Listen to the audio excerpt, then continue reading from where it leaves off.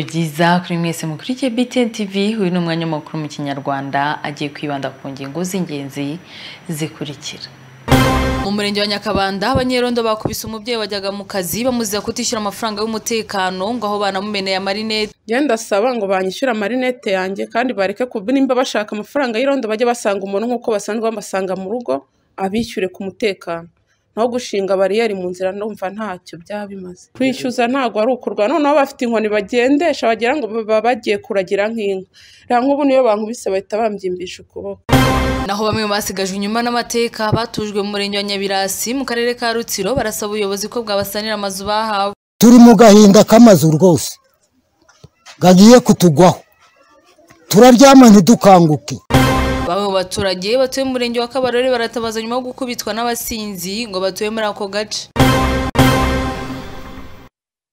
Reka tubahe ikaze amakuru yacu ku buryo burambuye. Mugiye kugezweho nanjye marie parne nkuru ndetse na ferdina ugiye kumfasha ku buhanga bw'ibyuma. Mbibutsa ko aya makuru ushobora kuyakurikirana ku mbuga nkoranyambaga zacu ari zo facebook ndetse na youtube aho tuba turi live. Amakuru yacu ku buryo burambuye.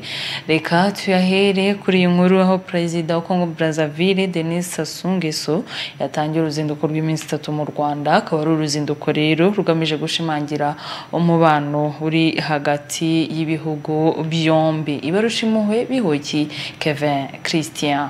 Ahagana saa sita z'amanywa ni bwo indege isanzwe itwara perezida wa repubulika ya kongo denis sassou nguesso yasesekaye ku kibuga cy'indege mpuzamahanga cya kigali giherereye i kanombe maze yakirwa na mugenzi we w'u rwanda nyakubahwa paul kagame mu bayobozi bari kumwe na perezida kagame mu kwakira sassou nguesso. Harimo minisitiri w'intebe dr. Edouard ngirente minisitiri w'ububanyi n'amahanga dr. Vincent biruta minisitiri muri perezidansi uwizeye judith minisitiri w'umutekano gasana rufedi ndetse n'uw'ubucuruzi n'inganda ngabitsinze jean chrysostome hari kandi umuyobozi mukuru wa rdb creya akamanzi ambasaderi w'u rwanda muri congo brazzaville mutsindashyaka theoneste meya w'umujyi wa kigali rubingisa pidanse umugaba mukuru w'ingabo z'u rwanda liyetona generali mubaraka muganga umuyobozi mukuru wa polisi y'igihugu felix namuhoranye ndetse n'umunyamabanga mukuru wungirije w'urwego rw'igihugu rushinzwe iperereza n'umutekano koloneli jean paul nyirubutama perezida sassou nguesso yaherukaga mu rwanda mu mwaka w'ibihumbi na cumi n'icyenda ubwo yari yitabiriye umuhango wo kwibuka ku nshuro ya makumyabiri na gatanu jenoside yakorewe abatutsi mu ruzinduko rwe rw'iminsi itatu mu rwanda byari biteganijwe ko nyuma yo kwakirwa ku kibuga cy'indege na mugenzi we w'u Rwanda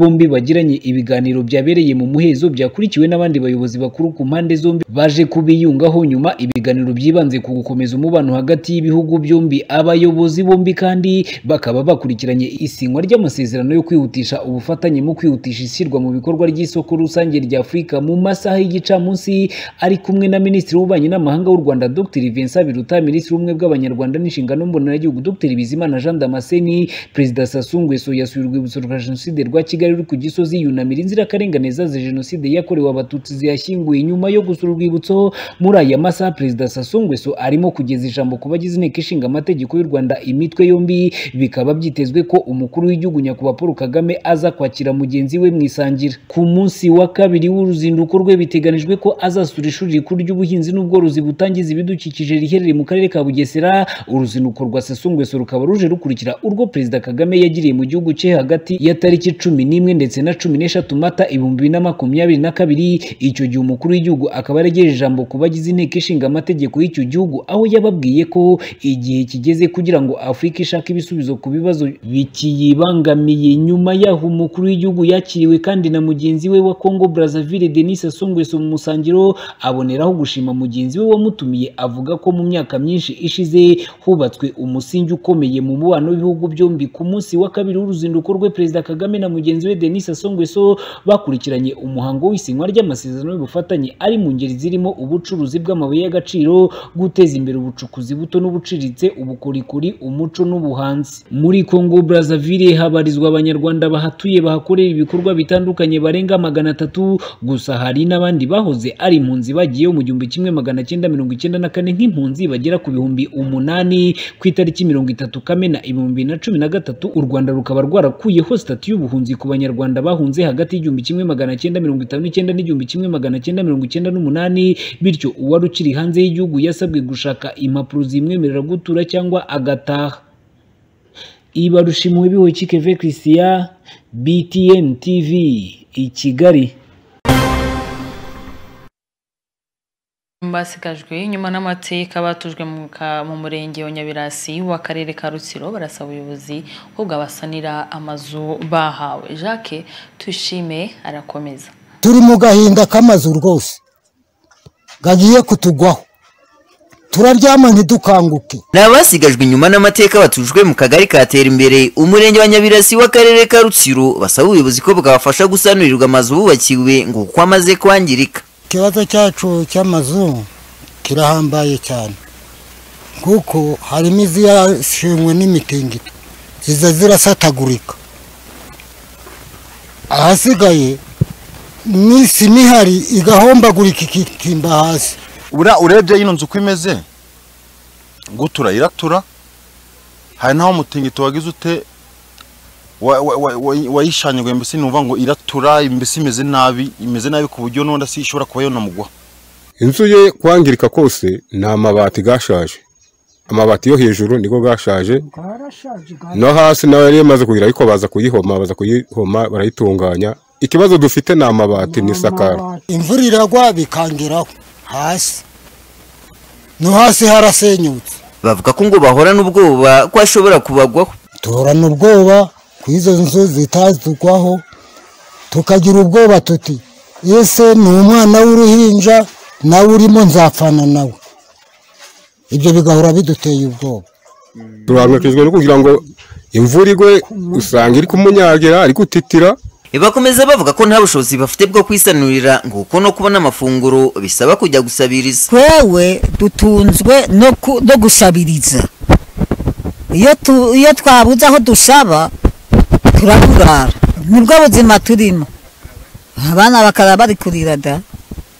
N'ibyo turya tubibona ariko ubushake bw'imana ukagenda ukajya ku muturage ese ntiwamfungurira akagukoreramo tubiri akaba ari kujya kurarira nanone bakomeza bavuga ko ngo bashengurwa no guhora babeshwa n'abayobozi bababwira ko bari bwubakirwe. Ukuntu baza kutubwira rero bagera ahantu. Bakayafotora. Bamara kuyafotora ngo igihe n'iki tuzaza tuyarebe tuyasuzume tuyakosore. Bakigendera gutyo kugeza n'amagingo ye n'umurenge nagwo gurazaga kugafotora mwa babyeyi mwe. Ngaheruka bafotora bakavuga ngo barakubakira muri gariya mezi gari imbere ngategereza ngaheba bakomeza basaba abayobozi ngo ko bakura mu magambo ibyo bavuga bakabishyira mu bikorwa. Abayobozi bahora baza ku- kuturebera amazu bati tuzayategura tukababura ubwo icyo twasaba ubuyobozi ni ukugira ngo ibyo babikure mu nzira batugirire ago mazu neza.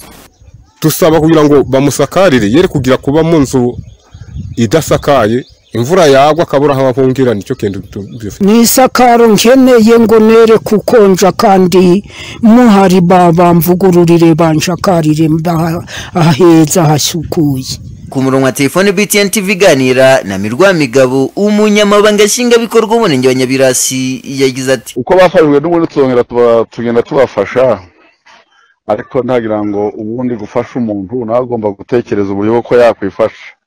Ariko banagira ngo kuri bo ku ruhande by'umwihariko barabajijwe n'amateka twari sa twasabye akarere ko kazatwunganira kongera kubasanira mu buryo burambye. Imwe mu nkingi eshatu leta y'u rwanda yubakiye muri politiki yayo ni imibereho myiza y'abaturage mu gushyira mu bikorwa uyu mugambi. Guverinoma y'u rwanda yubakira abatishoboye ikanabaha inkunga zitandukanye zibafasha kwikura mu bukene mu rwego rwo guharanira umuryango ubayeho neza kandi utekanye. Jacques tuyishime. Iyi ni btn tv mu karere ka rutsiro. Mu karere ka kicukiro bakoraga vup bakora nk'abafundi ubwo hatunganywaga umuhanda ujya nyarurama barambuye ngo kashize amezi atatu ngo nyamara abaharuraga imihanda bakoranaga nabo ngo bakaba barishyuwe aho bahera basaba ko bakorerwa ubuvugizi nabo bakaba bakwishyurwa jeremy iradukunda. Aba ni bamwe mu bakoranye na vup ubwo hakorwaga imihanda yo mu kagari ka nyarurama mu murenge wa gatenga. Bavuga ko bakoraga akazi k'ubufundi aho bagendaga bubaka amarigori yo muri iyi mihanda.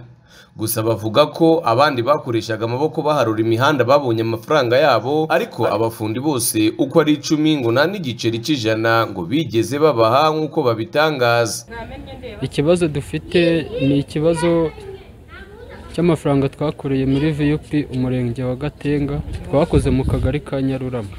Twakoze turi abafundi icumi ni ukuvuga ngo twebwe bagombaga kuduhemba twangije akazi mu kwezi kwa gatanu kugera na n'ubu ngubu tugiye kumara amezi atatu tutarabona amafaranga yacu. Iyo tugiye kubaza uko bimeze batubwira ngo ingengo y'imari yararangiye tukibaza ingengo y'imari ko yarangiye ibyo bari bakoreye iyo- ngengo y'imari bari bateganyije yagiye hehe? Ikibazo mfite ndi umufundi nakoze muri vup dukoramo turi abafundi twubaka twubaka za ruhurura Eh, twasoje kubaka mu kwa gatanu eh, kuri kurangira. Eh, amafaranga twakoreye muri vup twubaka ntayo twigeze tubona ariko abo twakoranaga bo bakora iby'imihanda bo barayabonye kandi lisite zabo zacu zagendeye rimwe. Ikibazo mfite twakoreye umurenge twubaka ibiraro ibiraro bya rigori mu kwezi kwa gatanu.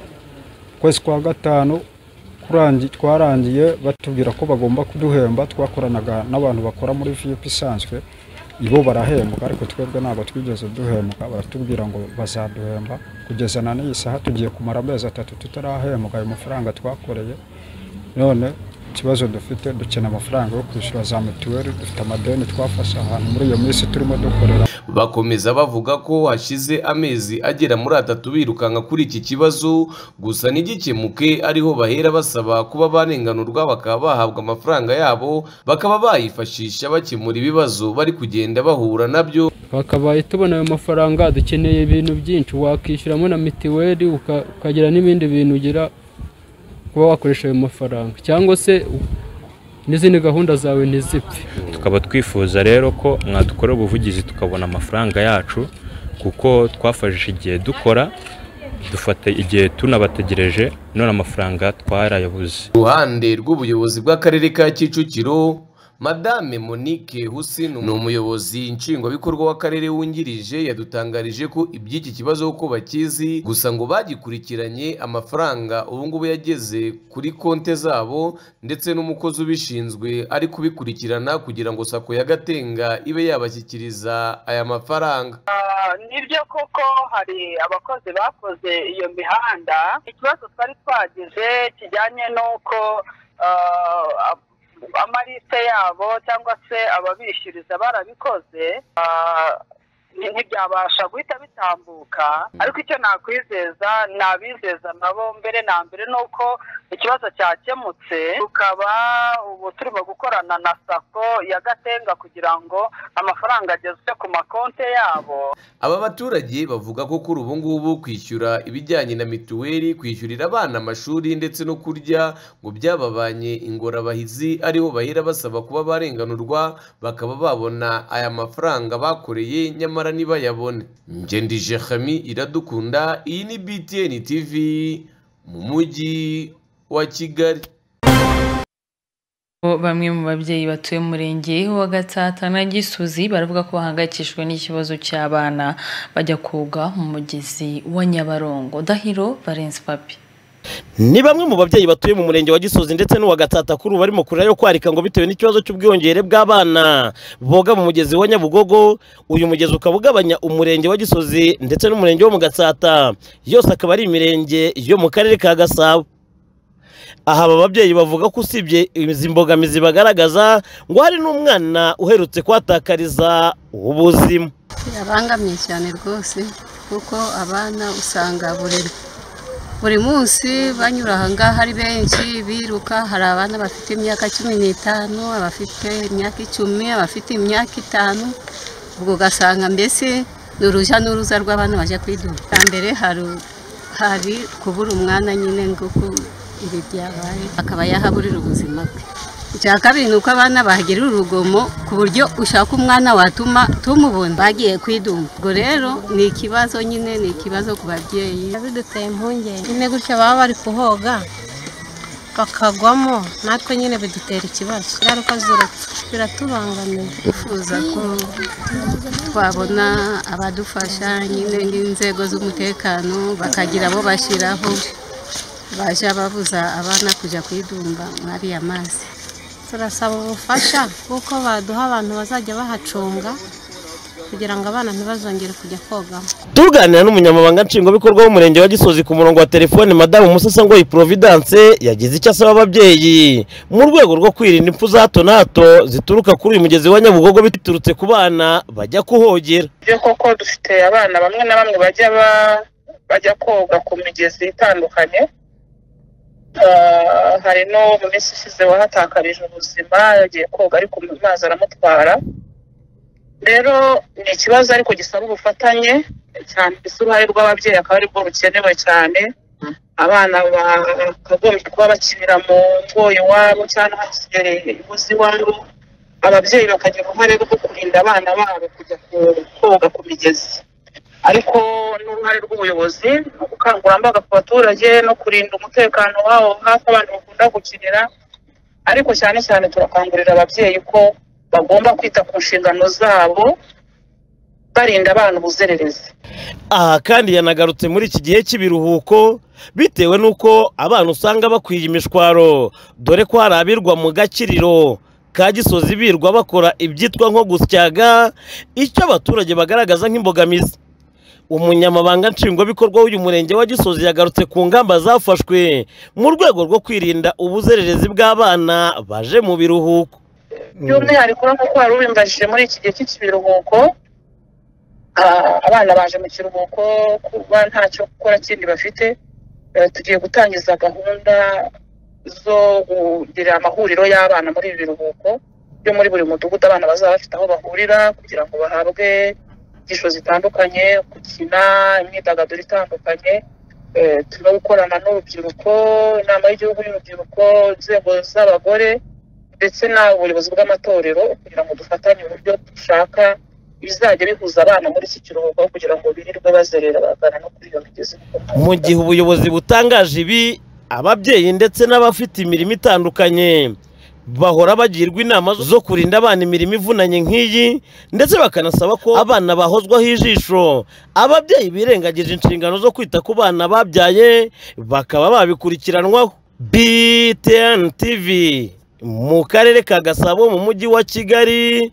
Ndindahiro valensi papi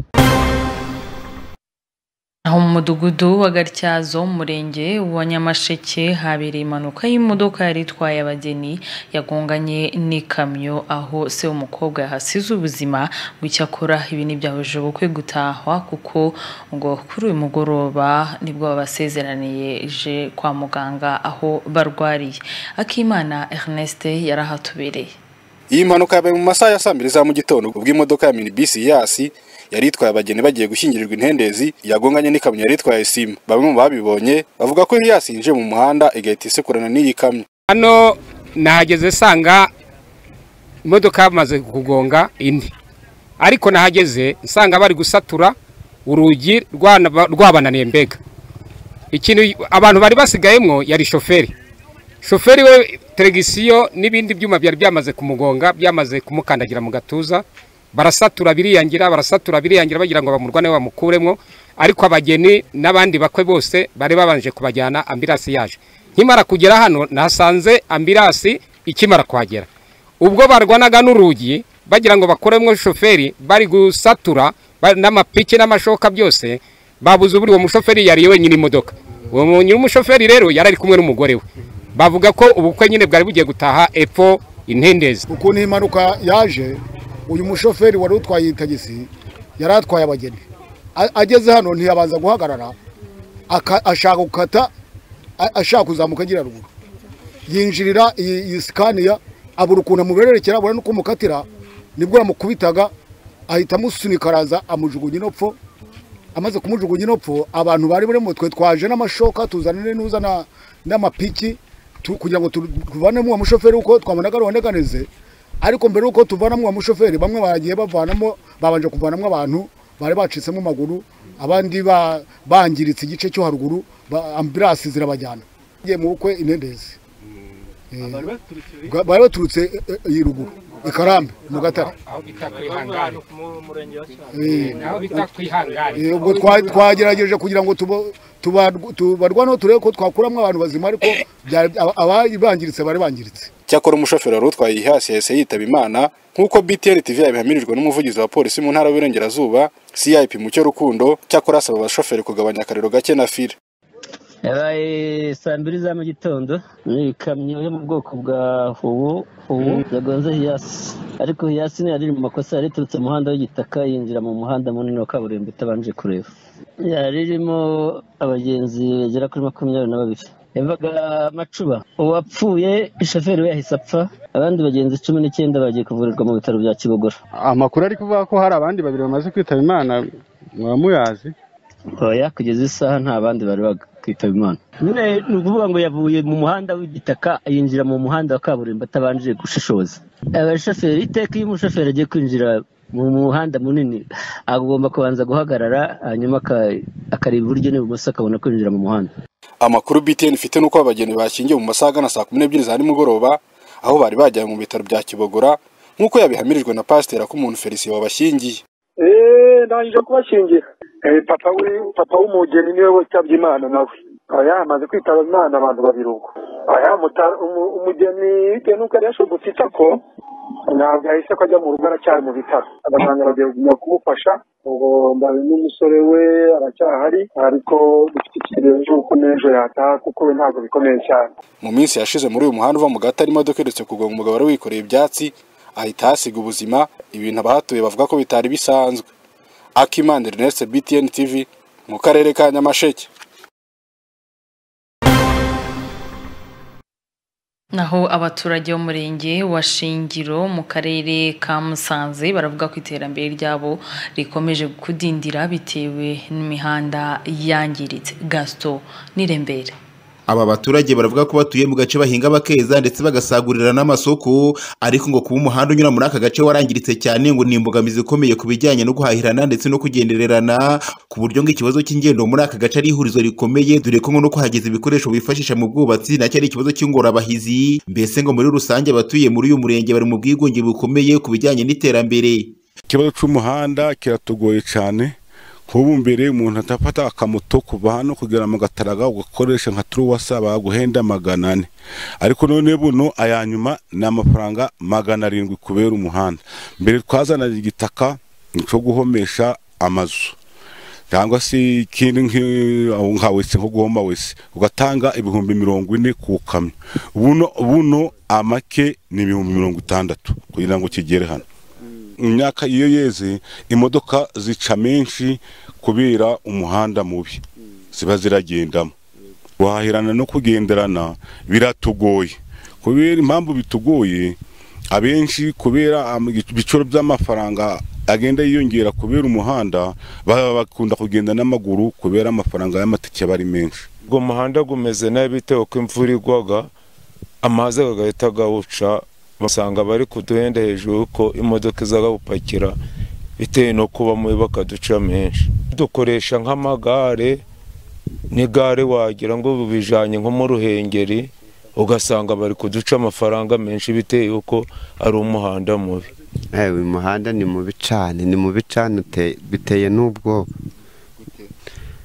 Ahantu twagenderaga magana atatu ikamoto ikakugeza hariya mu gataraga ukagera mu mujyi byihuse utuma n'ibiciro bizamuka bya buri kintu. Usibye na ikibazo cy'umuhanda ni ikibazo cyugarije abaturage batuye muri shingiro. Ubu ntiwabona uko ujya guhaha guhahira ahandi cyangwa kugurisha. Ibijyanye n'amasoko byo urabyumva ntabwo wahahira kure ngo uze ubyikoreye ku mutwe.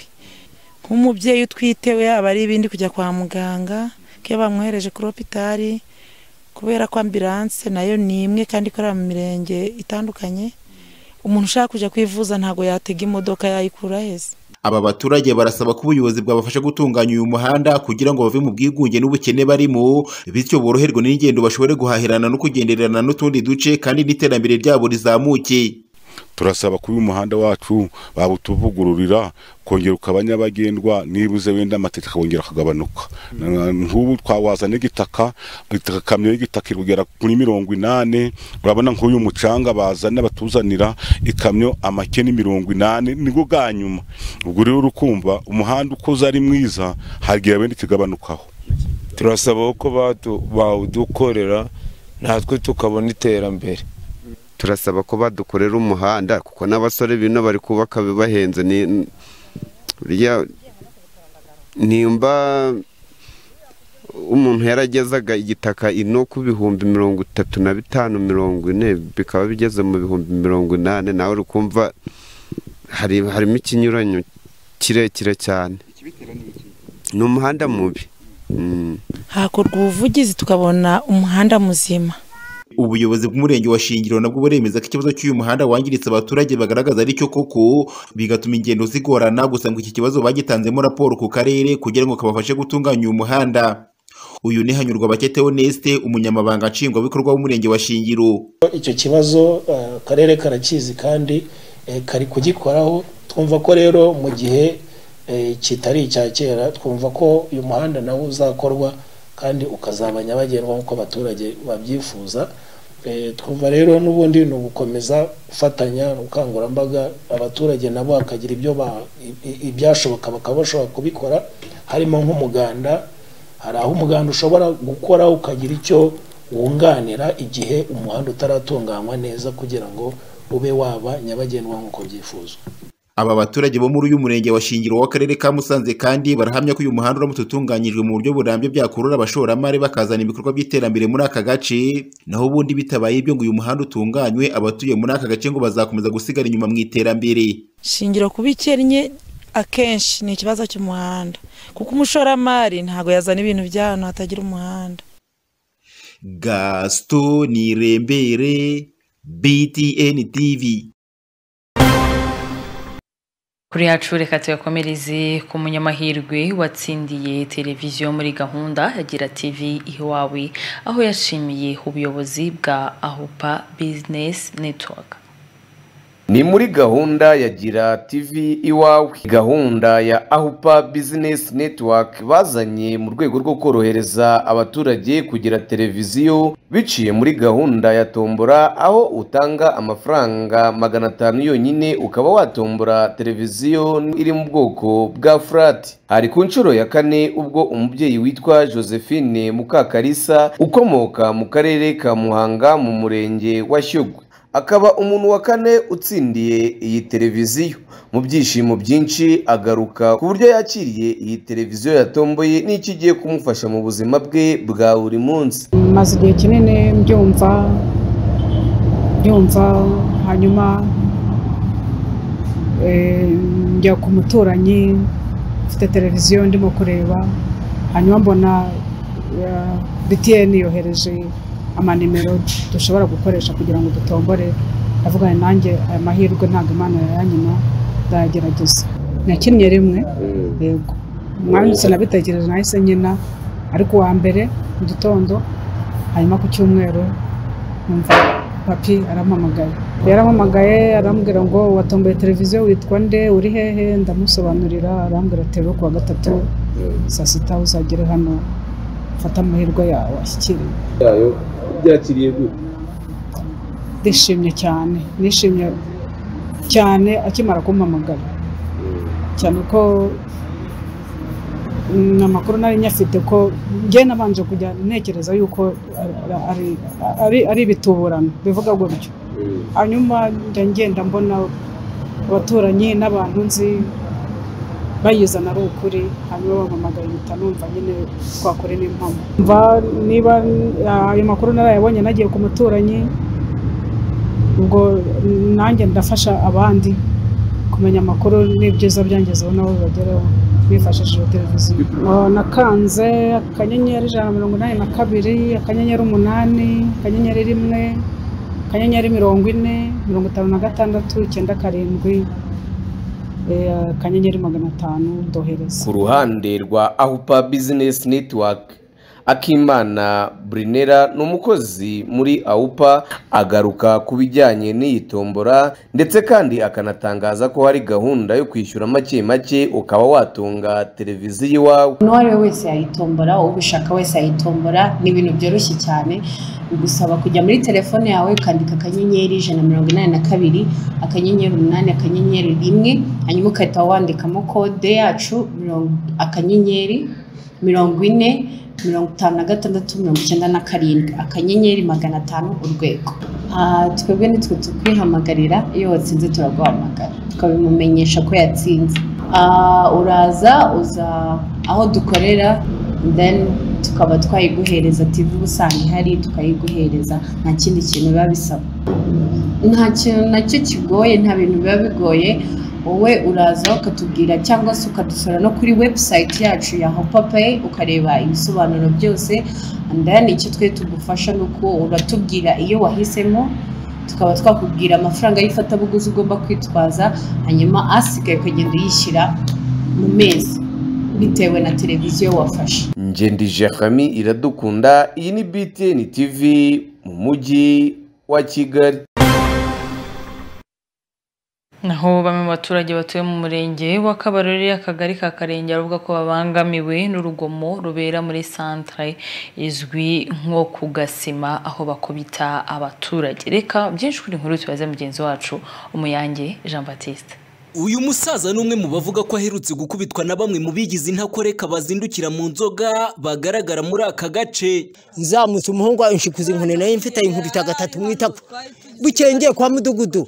Waha muri rwimbogo bukera ati uwo muhungu yigize igisazi ni igisari tekereza ite taransifu vivu ni n'umusiniya. Ngira ngo yaba ari mu turuwa za siniya.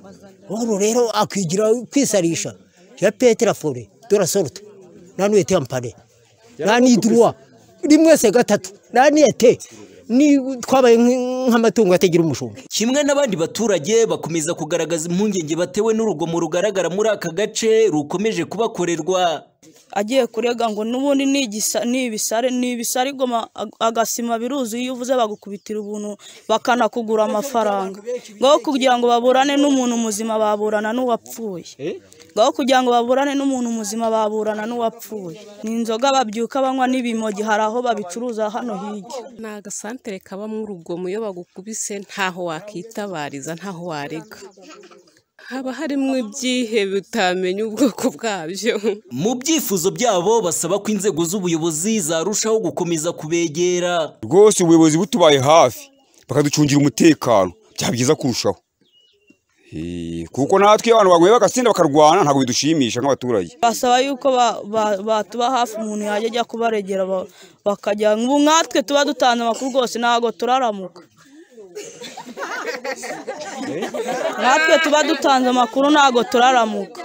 N'iyo twapfa mujye mumenya ngo tuzize tuzize amakuru tuba twatanze. Kuko n'iyo yatanze ubu buri hano ubu yarangije kuyamugezaho aragenda namara kuyamugezeho na hano arahansanga ni uguhamba nka babiri cyangwa batatu. Ejo bundi bakubise umugabo bitwa ejo bundi bakubise umuntu bitwa ahimana zaburoni yaraje nabwo bagiye kurwana nabwo agenda ajya gukiza barangije nabo baramukubita barapfuye. Ni ni urugomo rumaze iminsi mu gasima rusanzwe keka mudukoreye ubuvugizi ubundi barangiza ibisarigoma bakabi- bakabigabanya. Mu gushaka kumenya byinshi kuri uru rugomo abaturage bavuga ko ahanini ruterwa n'ubusinzi bukabije bugaragara muri aka gace. Umunyamabanga nshingwabikorwa w'uyu murenge wa kabarore urujeni konsore uku niko yabigarutseho. Nta rugomo rudasanzwe twavuga ko ruhari kuruta izindi santere zihari. Nta rugomo rudasanzwe twavuga ko ruhari kuruta izindi santere zihari. Gusa ubwo twageraga muri aka gace uretse abo twaganiriye batangaga ubuhamya ko bakubitiwe muri aka gasantere kazwi nko mu gasima hari n'abandi baturage badutangarije ko hari uwigeze kuhaburira ubuzima biturutse ku rugomo bikagaragara ko hari ikibazo kibugarije. Umuyange jean batiste btn tv mu karere ka gatsibo.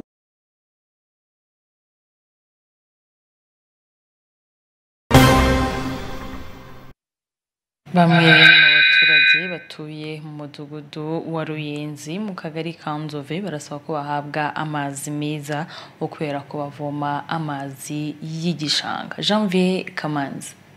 Sitoke iri hano hepfo gatoya hano amazi aturuka ahubwo bakarenga bakayajyana nk'irya iriya za kinyoni twebwe dutuye iruhande rwayo tukayabura aba ni bamwe mu baturage bo mu kagari ka nzove mu murenge wa kanyinya ho mu karere ka nyarugenge bagaragaza imbogamizi ku ibura ry'amazi meza y'imiyoboro ya wasake aho bavoma amazi y'igishanga. Ibintu bavuga ko bibagiraho ingaruka ku buzima bwabo.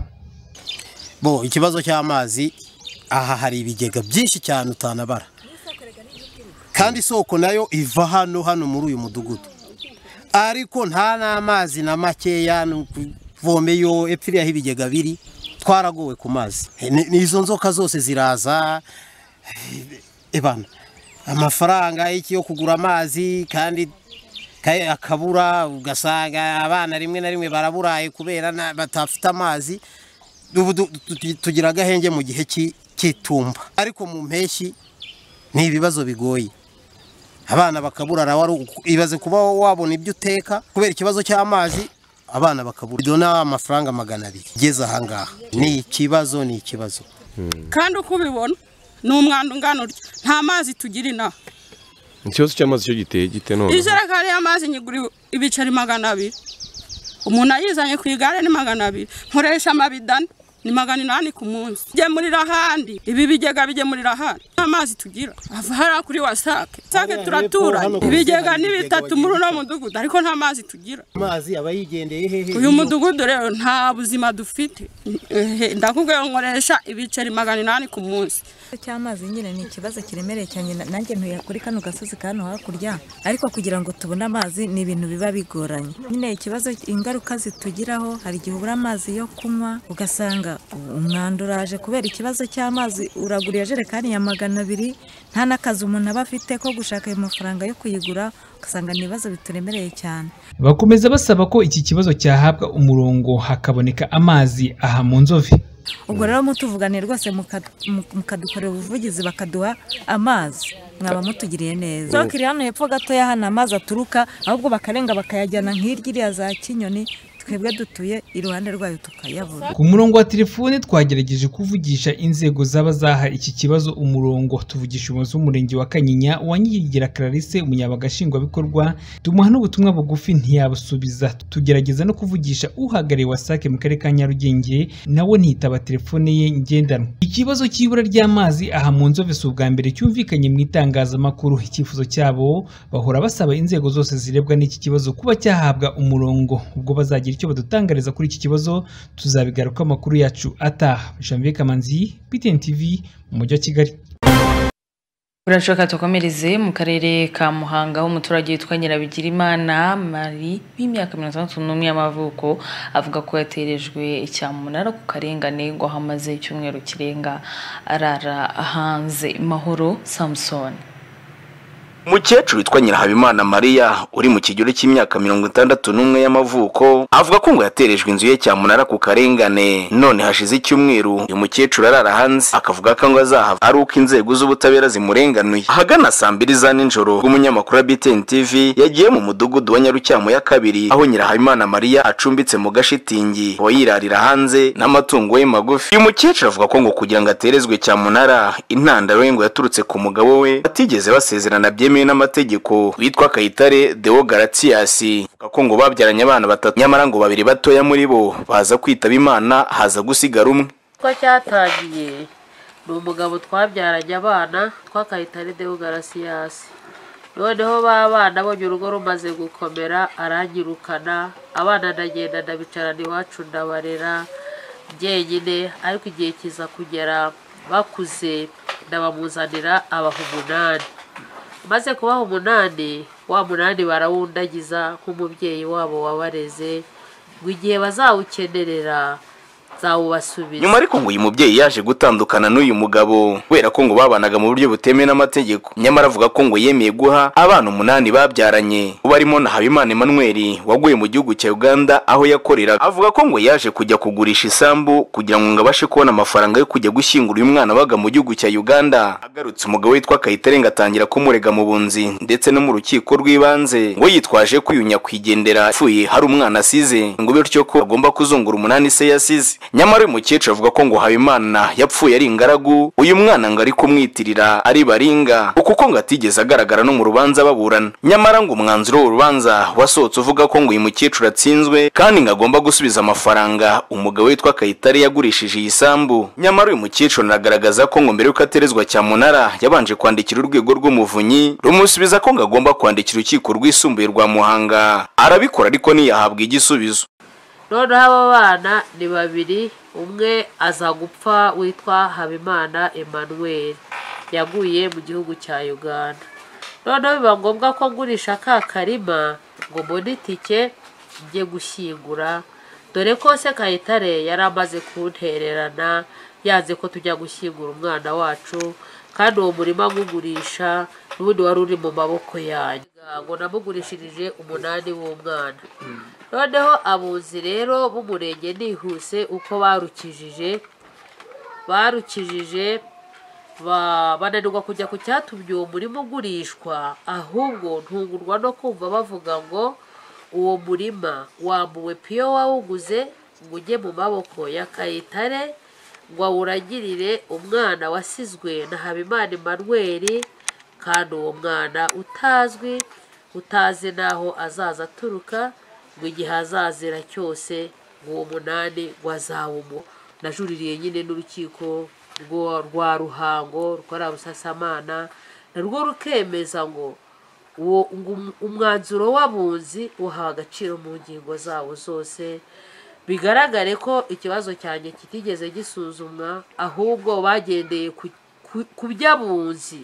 Kandi namaze no kumenya ko abunzi badafite uburenganzira bwo kwemeza umwana nandikiye urwego rw'umuvunyi washubije ko niba afite ibimenyetso byerekana ko uwo mwana wacu habimana emmanuel ntaho yabyaye koko nta hantu afite umwana ngomba gutanga ibimenyetso bigaragara ko uwo mwana wacu yapfuye atabyaye. Ibi byatumye umunyamakuru wa BTN TV ku murongo wa telefone avugisha umuyobozi w'akarere ka Muhanga Kayitare Jacqueline maze avuga ku kibazo cyo gutereza cyamunara imitungo y'uyu mukecuru batari bakizi. Cyane ko ngo yaburaniye mu karere ka Ruhango gusa uyu muyobozi avuga ko ngo iyo urubanza rumaze gusomwa hagatezwa kashe muruza urubanza ruba rwabaye itegeko kandi ngo ibikubiye muri uyu mwanzuro bikwiye kubahirizwa. Urumva inkuru na yo yibwiwe na Elize. Urubanza rwabereye mu ruhango ntabwo twarumenye. Byageze muhanga ari uko bigeze mu cyamunara. Ndetse na executive w'umurenge nza kumutakinga najya yajya kumutura. Tuvuga ngo natuzanire dokima tuzirebe. Kuko yavugaga ko yandikiye ngo urukiko rw'ibanze afite n'izindi nyandiko yandikiye inzego zinyuranye cyane cyane zo muri ruhango. Ndababwira ngo anzanire izo nyandiko tuzisome tuzirebe tumenye urwego twagira icyo tubaza kuri dosiye ye ariko nanjye nifuza gusoma dokima ze kugira ngo tumugire inama ishingiye ku byabaye ariko turebe niba hari amategeko atarubahirijwe. Tumenye icyo tumufasha mu by'ukuri. Mukecuru nyirabigirimana mariya usibye kurara hanze ni naho atekera. Akahafatira ifunguro rya saa sita ndetse n'irya nijoro. Ibi biteye impungenge ku bayobozi baramutse badafashe umwanzuro wo kuhamukura ngo bamushakire aho kuba kuko uyu mukecuru ashobora kuhandura indwara iterwa n'imbeho ya nijoro ndetse n'izuba ryo muri iyi mpeshyi cyangwa se abagizi ba nabi bakahamwicira. Iyi ni BTN TV Ngendimahoro Samsoni ahanini mu mudugudu wa Nyarukyamu ya kabiri ndi mu murenge wa Nyamabuye mu karere ka Muhanga ndi mu ntara y'Amajyepfo. Mu karere ka nyarugenge umurenge wa nyakabanda abanyerondo bakubise umubyeyi wajyaga mu kazi ngo aho bamumenera inete ngo azizwa kuba atarishyura amafaranga y'umutekano. Genda asaba ngo banyishyure amarinete yanjye kandi bareke nimba bashaka amafaranga y'irondo bajye basanga umuntu nk'uko basanzwe bamusanga mu rugo abishyure ku mutekano. Naho gushinga bariyeri mu nzira ndumva ntacyo byaba bimaze kwishyuza ntabwo ari ukurwa. Noneho bafite inkoni bagendesha bagira ngo baba bagiye kuragira nk'inka. Rero nk'ubu niyo bankubise bahita bambyimbisha ukuboko. Ni mu rukerera rwo kuri uyu wa gatanu. Nibwo umubyeyi tw'abazubagira Clementine utuye mu karere ka Nyarugenge ho mu murenge wa Kimisagara yari arimo arerekeza mu mirimo ye nk'uko bisanzwe akaza kunyura mu murenge wa Nyakabanda bikaza kurangira akubiswe n'abashinzwe gucunga umutekano bazwi nk'abanyerondo nk'uko adusobanura uko byagenze kugira ngo ashobore kuba yakubitwa aka kageni. Namanutse abanyerondo nyura muri nyakabanda basaba ngo amafaranga y'umutekano ndababwira ntabwo mba muri nyakabanda banga kubyumva. Nayo manukanye n'umwana wanjye w'umuhungu ufite imyaka makumyabiri. Ndababwira nimureke tujye mu kazi twe ntabwo dutuye muri muri nyakabanda.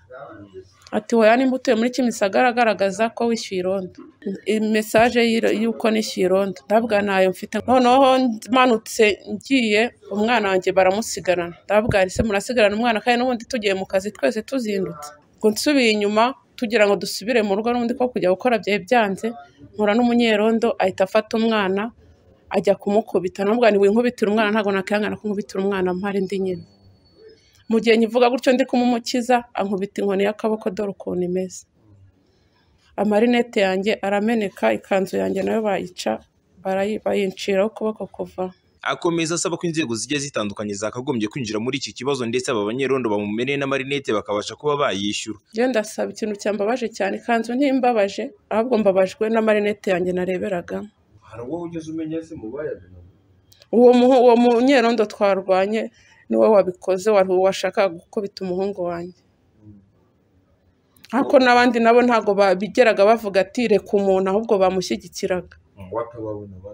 Nta bagenzi bari bamanutse nabo bagiye mu kazi. Bimaze kubasanga byari bimaze kuba saa kumi n'imwe na makumyabiri ndasaba ko banyishyura rinete zanjye. Ikanzu yo ntacyo bitwaye nzagudodesha n'iyindi. Kuboko nako ntacyo mfite mitiweli nzivuza nta kibazo. Ni mu gihe kuri iki kibazo ku murongo wa telefoni twese tuvugana n'umunyamabanga nshingwabikorwa w'umurenge wa nyakabanda ari we nakunagize florence maze adusubiza mu magambo ye agira ati mufasha nyine mpamagara abo banyerondo mbabaze impamvu bari kumubaza umusanzu kandi atari uwo mu kagari kabo. Ubundi se bisanzwe bibaho yuko abanyerondo bazinduka bafata abaturage bababaza imisanzu hari fayigi ibaho mu gitondo? Eh, iyo bayikoze yo- kubyuka bishyuza abantu. Ariko ntabwo bishyuza umuntu utari uwaho ngaho. Iyo ababwiye ngo si uwaho baramureka. Iba nko mu masaha ya sangahe iyo faya iba nko mu gitondo saa kumi n'ebyiri gutyo. Ikibazo cy'urugomo rukomeje guterwa n'abanyerondo muri uyu murenge wa nyakabanda ntabwo kigaragaye ubu ngubu. Dore kuko bwije n'uko bukeye aba banyerondo bakomeza kugenda bahohotera abaturage ndetse inzego zigiye zitandukanye zikagenda zibakingira ikibaba. Ukaba wakibaza igihe iki kibazo kizakemukira kugira ngo abo banyerondo bashobore kuba bakubaha abaturage bikakuyobera remi ngabo nziza btn tv mu karere ka nyarugenge mu murenge wa nyakabanda. Umubyeyi witwa Uwimana Anne Marie utuye mu mudugudu wa Gahozi mu karere ka Rusizi arasaba ko bamufasha akaba yavuza umwana we wavukanye ubumuga ngo dore ko nta bufasha afite. Reka byinshi kuri nkweto tubaze mugenzi wacu Akimana Ernest. Uyu w'imana na mariya atuye mu kagari ka kamatita mu murenge wa gihundwe avuga ko yabyaye umwana ufite ubumuga bukomatanye gusa ngo yagerageje kumuvuza ahantu hatandukanye ariko abura ubushobozi. Ku buryo n'uwo bashakanye yabonye biyoberanye amutana uwo mwana arigendera. Dufite nyine uyu mwana ubana n'ubumuga.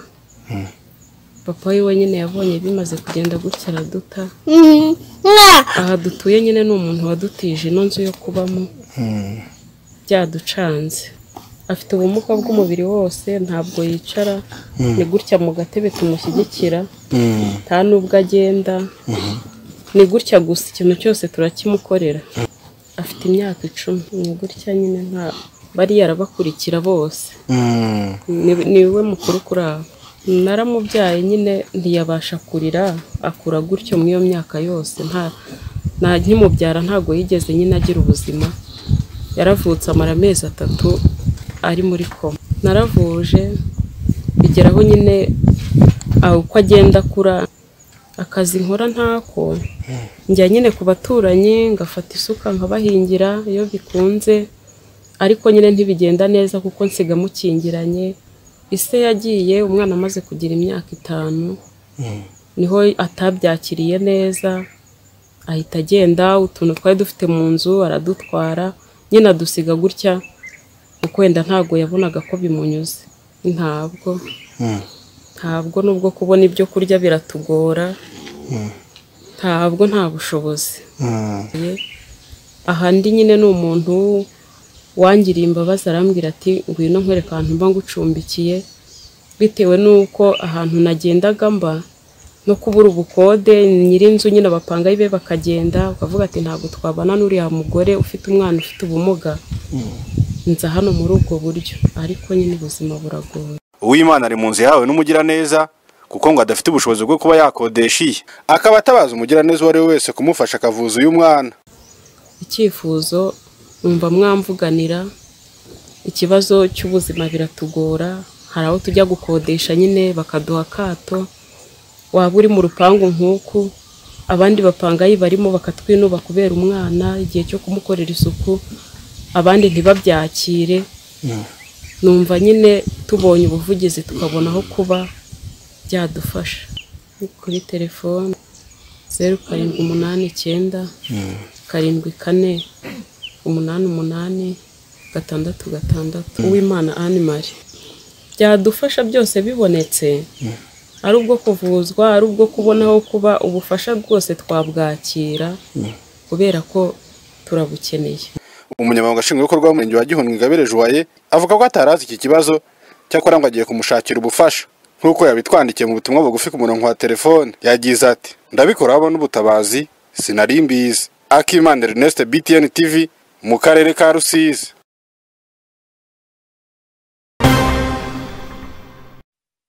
Reka mbashimire mwese mwe mukurikiye amakuru ya BTN TV nshimira cyane Ferdinand wari kumfasha ku buhanga bw'ibyuma. Naho ngewe de Marie nkuru mugire ibihe byiza.